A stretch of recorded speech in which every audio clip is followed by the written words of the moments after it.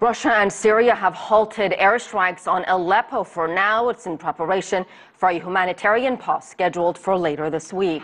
That is supposed to allow civilians and militants safe passage out of the besieged city. CCTV's Ala Ibrahim reports from Damascus. The bombing halt scheduled for Thursday will last for eight hours only.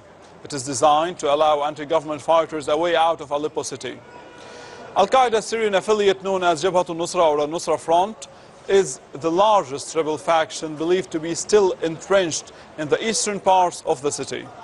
The Russian Minister of Defense vowed that Syrian army units will withdraw to provide safe corridors for rebel fighters wanting to leave Aleppo. Syrian government officials are telling CCTV that this truce will be different from previous attempts at a ceasefire. This time, the main goal is not to deliver humanitarian aid, this time, the goal is to get all radical fighters out of Aleppo, hoping to separate between the extremist factions and the moderate ones.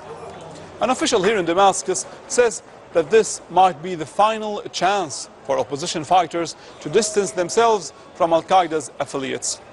In the meantime, the state television here continues to report on ISIL fighters moving from Iraq into Syria.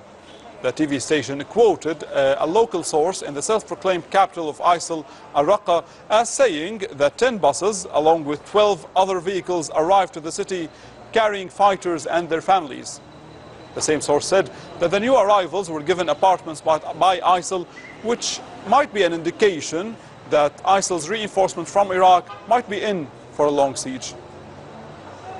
The apartments that ISIL distributed to its fighters and their families are confiscated from uh, Syrian residents who fled the city after the radical group took control of it. Security agencies here think and estimate that there will be a surge in the number of ISIL fighters as Iraqi forces advance on Mosul, the last major stronghold for ISIL in Iraq. Ala Ibrahim, CCTV, Damascus.